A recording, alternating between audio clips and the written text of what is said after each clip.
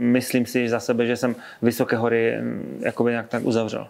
Mm-hmm. Sám u sebe. Že jsem to prostě nějak tak vyhodnotil, že jakoby je těžké si to přiznat, ale myslím, že už na to nemám. Jako, mm-hmm.